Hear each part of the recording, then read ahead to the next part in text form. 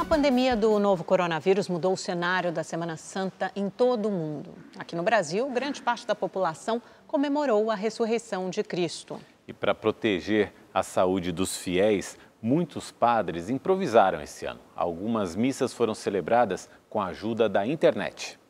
Da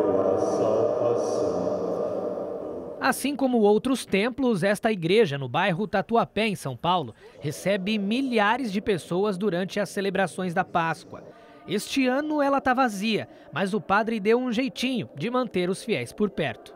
E então foram brotando as ideias, fomos observando as ideias que foram surgindo e nós combinamos então de trazer para próximo do altar a fotografia do pessoal. A equipe nossa de comunicação capta as imagens e com isso a gente consegue uh, se sentir um pouco mais todo mundo junto.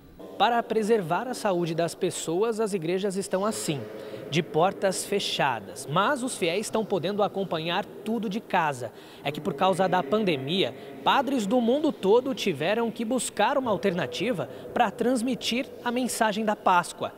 Como?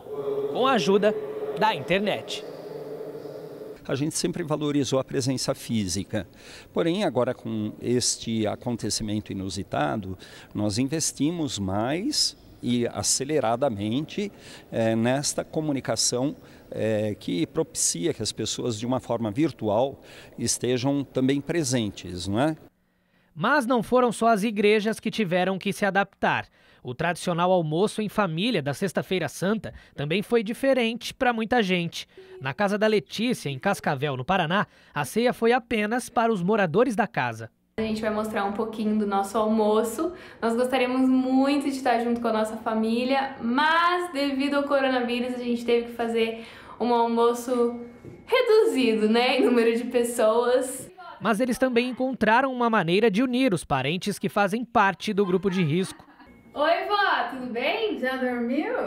A gente podia estar tudo junto domingo, que a gente fica sozinho, aí vocês sozinha lá.